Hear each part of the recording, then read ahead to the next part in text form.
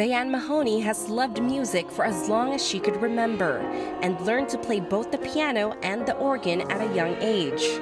For most of her life, she composed music for children and adult choirs, serving as liturgist, music director, and choir director at various places. Now, besides occasionally composing music, what she enjoys most is playing the organ at her parish in Burlington, Iowa.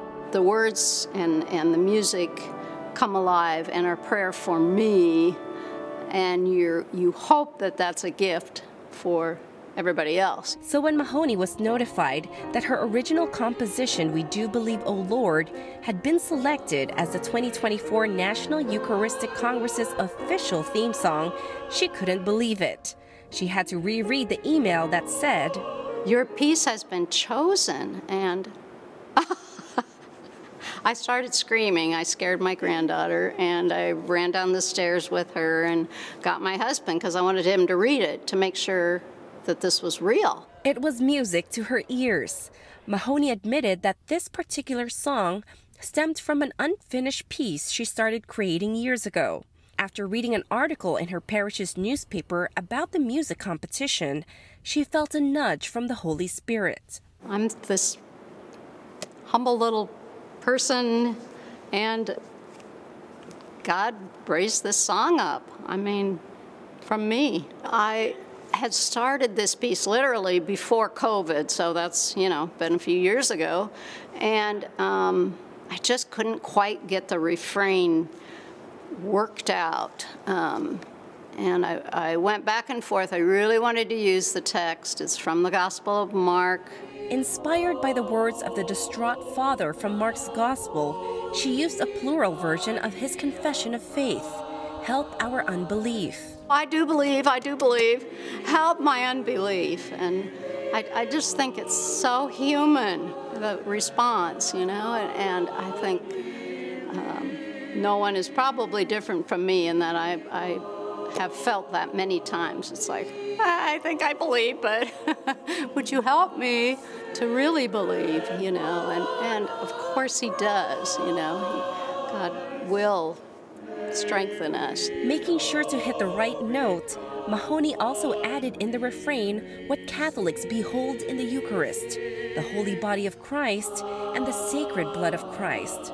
Lastly, after all the bells and whistles, she felt inspired to superimpose the chant tune Adoro te devote over the melody of the refrain. So that wonderful tune,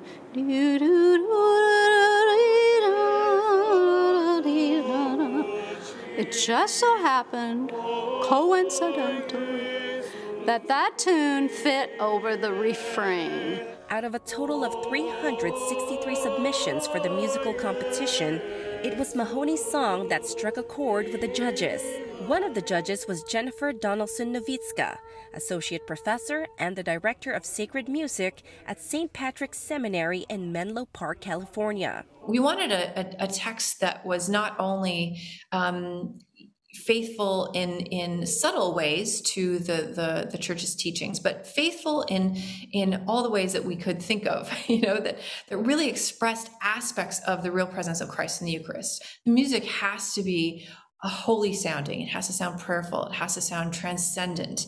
And it has to um, have uh, real beauty. Donelson Nowicka especially loved mahoney's refrain I, I thought that uh, the the refrain was really um, helpful in in helping focus the, what the Christian can say throughout their life about the Eucharist, which is, Lord, I do believe. Help my unbelief. You know, because no matter how much we know about the theology of the Eucharist, or how much we receive the Eucharist, or go to Mass, there's always more because God is so much bigger than we are, and that refrain really captured that. Let's take a listen. The choir of St. John the Baptist Church singing the National Eucharistic Congress's official theme song, We Do Believe, O Lord.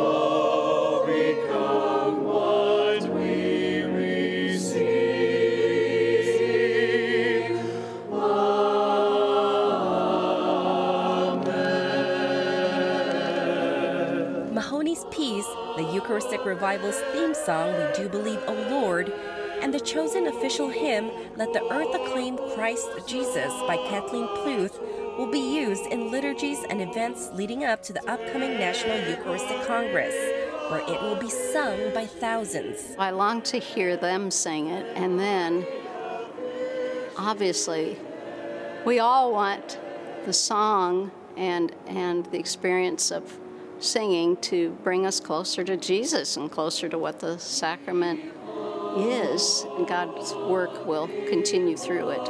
I pray. Roselle Reyes, EWTN News in Depth. You can hear the entire song at our social media handle EWTN News in Depth on Facebook, X, and Instagram. Be sure to like and follow.